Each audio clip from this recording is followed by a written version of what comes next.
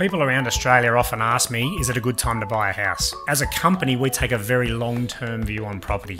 And my answer is always yes. It's definitely a great time to buy for first home buyers. The, the big thing really is that the market is a lot calmer.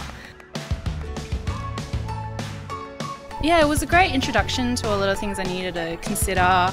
Um, you know, buying off the plan, or if I wanted to you know, why do I want to buy a house or an apartment. Information like this is always helpful at events like this. Um, they're a good start for people like me who have no idea what they're doing. But they also talked about the emotional side as well, which I think not a lot of people talk about.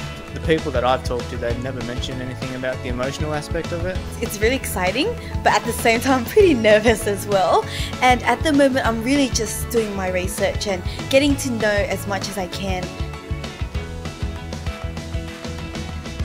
For me, it's more, um, it's pretty much 100% emotional. As long as I love it, then that's what counts. As long as I feel a connection to the community, then yeah, I'll most likely buy the place then.